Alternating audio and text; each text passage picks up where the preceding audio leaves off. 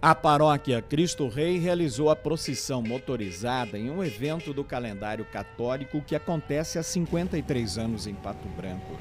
A tradicional churrascada na igreja de São Cristóvão, na Encruzilhada, não acontece mais e este ano foi apenas vendido o kit churrasco para ser retirado na matriz no bairro Cristo Rei.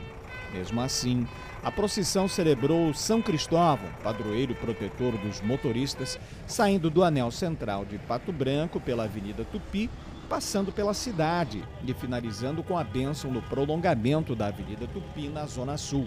Aqui em Pato Branco nós temos uma das mais tradicionais e antigas procissões motorizadas de São Cristóvão. Centenas de caminhões, carros, motos, estiveram participando novamente da tradicional carreata. Aqui na Zona Sul de Pato Branco, a Avenida Tupi, durante horas, viu a passagem dos veículos para a bênção de São Cristóvão. Padre Evandro e Padre Adilson realizaram a bênção dos veículos que passaram durante mais de três horas para receber a proteção de São Cristóvão. Nós, aqui no Brasil como um todo, mas na região sul, Paraná, a gente sabe que sem agricultura e sem é, o nosso sistema viário, né, com nossos caminhoneiros, a riqueza do, do nosso estado, do nosso país não circula.